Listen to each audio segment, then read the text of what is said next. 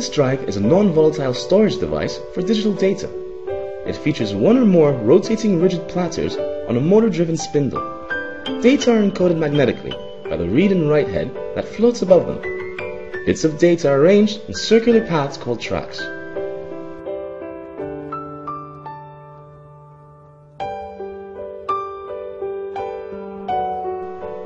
After the data are read, they are transferred to the motherboard through the IDE cable.